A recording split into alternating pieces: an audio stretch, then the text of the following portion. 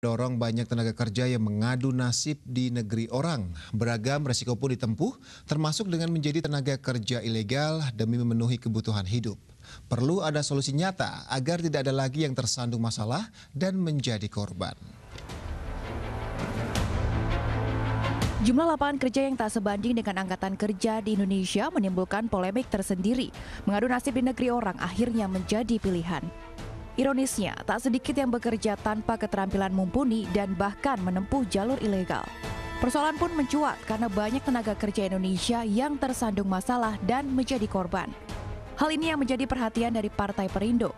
Terlebih sampai saat ini solusi nyata belum sepenuhnya dilakukan. Bahasan ini diungkap Ketua Umum Partai Perindo Haritanu Sudibyo saat menggelar konsolidasi dengan pengurus dan anggota perwakilan luar negeri Partai Perindo Malaysia di Kuala Lumpur Kamis siang. HT bersama Partai Perindo berkomitmen untuk membantu memulangkan para tenaga kerja Indonesia yang bermasalah ke tanah air.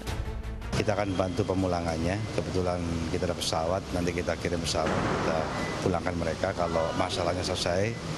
Kemudian yang lain yang bisa kita bantu ya terkait dengan bagaimana meningkatkan eh, pengetahuan mereka, skill mereka dengan mungkin pengajaran bahasa Inggris ya atau keterampilan terkait dengan menjahit ya intinya kita itu ingin memberdayakan mereka meningkatkan kemampuan mereka supaya mereka bisa berbuat lebih baik sehingga kesejahteraan mereka ya akhirnya lebih baik.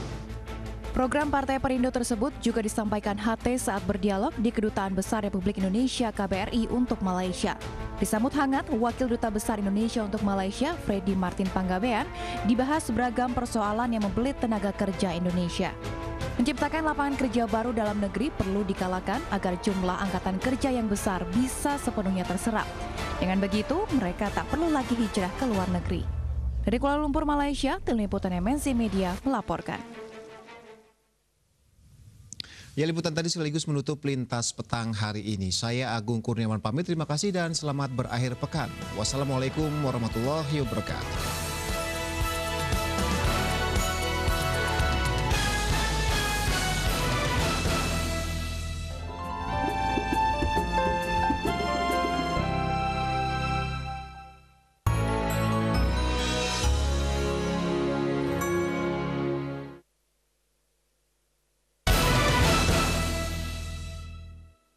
Acara ini dipersembahkan. Minum Nutrif Benokol dua kali sehari, bantu turunkan